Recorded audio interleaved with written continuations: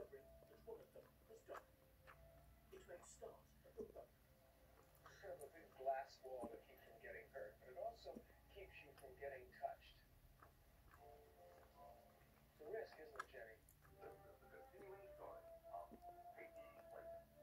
good-looking Los Angeles-born actor Alan was already a familiar face on TV with a prominent role on America's first primetime soap. I that way, Allison. A little flip. Defense mechanism. Come on. Nothing. In two minutes, I'm calling the police. After the tragedy of the love story, he showed off his comedy skills in What's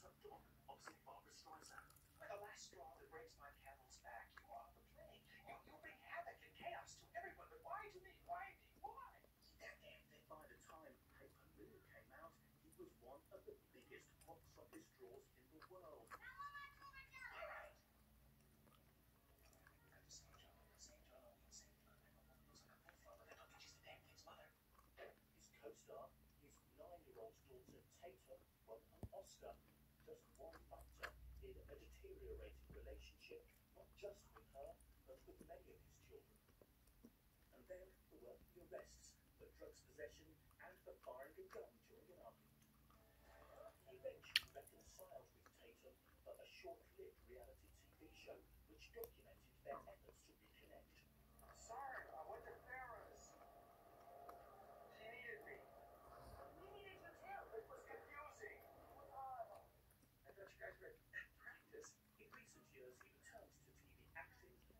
cameos in shows like Desperate Housewives. Ah, Lynette, this is Lois McDaniel. She's one of my major suppliers in the area.